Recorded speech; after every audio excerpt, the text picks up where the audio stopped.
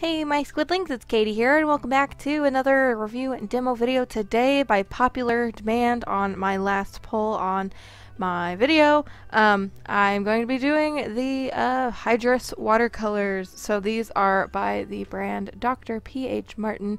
These are the fine art watercolors and they come in these little dropper bottles. I actually bought these open stock. You can also purchase them in a like 12 set. Uh, they have glass and plastic bottles with little droppers. Um, the plastic bottles are a little smaller. These are one ounce. Plastic bottles are half ounce. Um, but again, I bought these open stock just because I wanted to try them a little bit before, you know, I invested in more.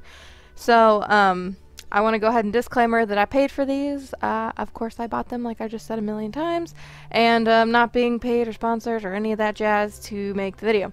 Uh, before I get further into the video, I do want to direct you to the description below. I actually just recently opened a Patreon, uh, and if you want to support me for extra content and be able to vote on future YouTube videos, uh, and get sneaky peekies at things and extra just like physical rewards, consider supporting me over there. Also, I opened a new store on tictail.com. It's a little bit easier, it's a little bit more like user friendly, uh, so go check that out. Links are in the description below. Uh, I'd really appreciate it if you guys could support me in any way possible. Uh, it just, it really helps me out a lot and it helps me to keep purchasing things like these for reviews, so yeah, so I can keep them coming. So let's talk more about these now that I'm done with the shameless self-promotion. Um, they actually come in 36 different colors, but I've got six here. So uh, as you can see, I've actually got, um, what is this called? Hansa Yellow Medium. And then I have got, if my camera will focus, uh, Brilliant Cadmium Red, Alizarin Crimson, Ultramarine Blue, Phthalo Blue, and Burnt Umber. Now, um, before I go any further, there's one thing I want to kind of let you guys know. For some reason, my burnt umber was like super chunky in the bottle. Like it just looked like it had chunks of just nastiness. And I don't know if you'll be able to see that, but it's still kind of chunky on the dropper bottle.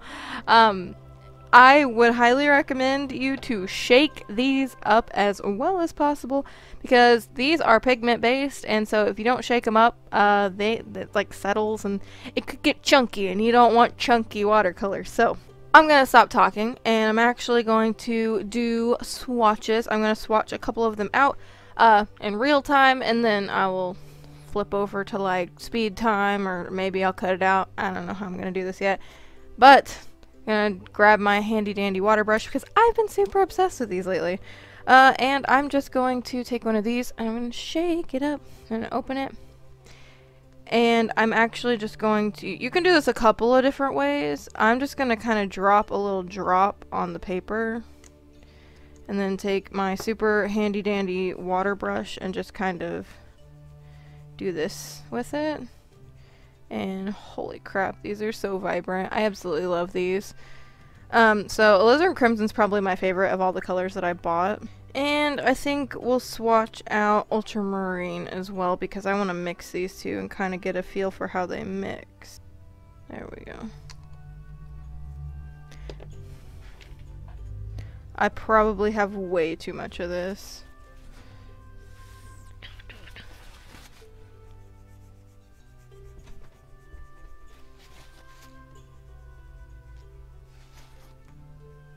But uh, as you can see, a little bit of this stuff goes a really, really, really long way. Oh my word, brilliant cadmium red. Chill out.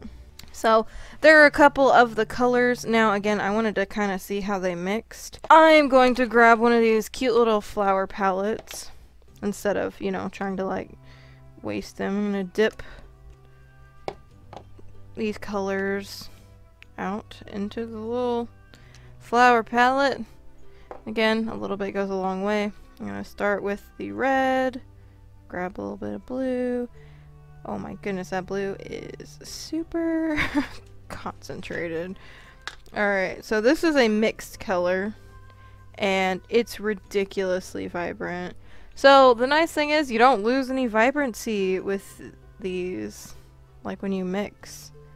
That's always nice. These are, of course, fine art grade, so, you know, I'm not too surprised, but, you know, you can never be too careful when it comes to art supplies. Is, um, lifting techniques. So, like, wait, like, two seconds and I'll cut to that.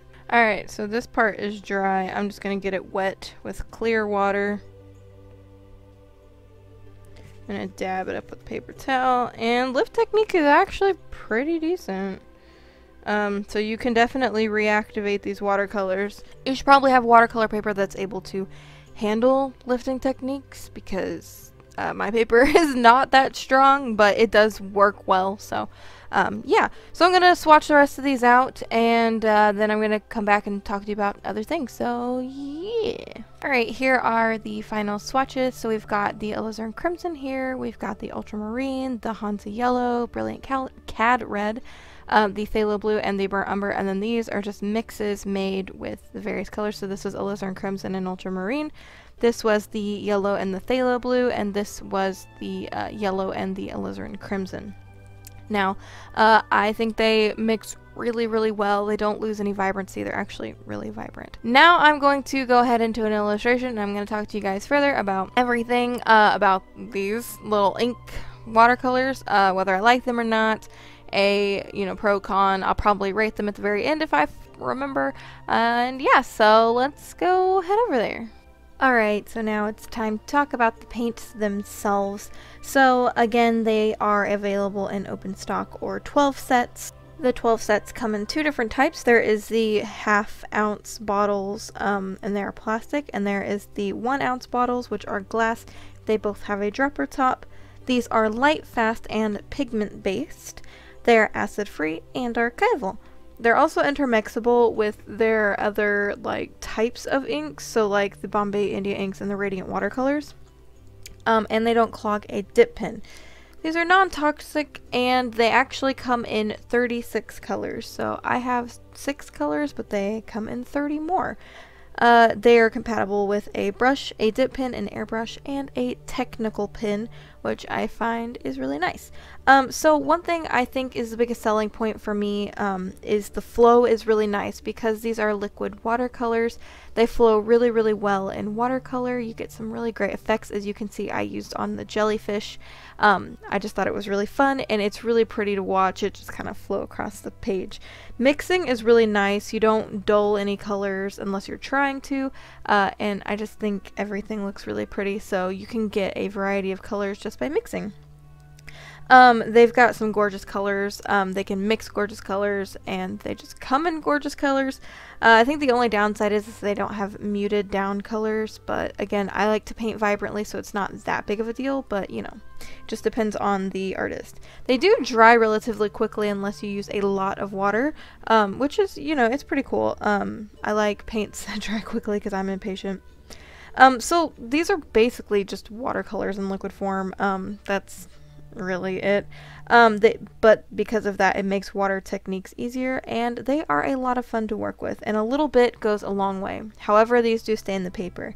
As far as a rating is concerned, I'm going to give these a 7.5. I really, really liked them, but I think one of the biggest issues for me is there is no muted colors, because, again, I do like to paint vibrantly, but it is nice to have those muted colors, and they are kind of expensive, so... Um, yeah, but that brings me to if you are interested in these, I will have a link down in the description below to where you can get some. Um, so check that out. Also, don't forget to check the description for uh, links to my Patreon, my Twitter, my Instagram, and my Tumblr, uh, where I share art and stuff. And also, don't forget to check that link to my art store. Uh, and yeah, so um, I really hope you guys enjoyed the video, and um, you're gonna see the final product soon. I add some glitter and I fine lined it, and I think she turned out really pretty. So uh, this is probably one of my favorite pieces in a while, and I've been super obsessed with sea creatures. So yeah, uh, I really hope you guys enjoyed the video. Again, if you did, don't forget to thumbs it up. Also, don't forget to hit that subscribe button down below to join our cute little squid pod if you haven't already to keep updated on new videos. And until next time, guys, toodaloo!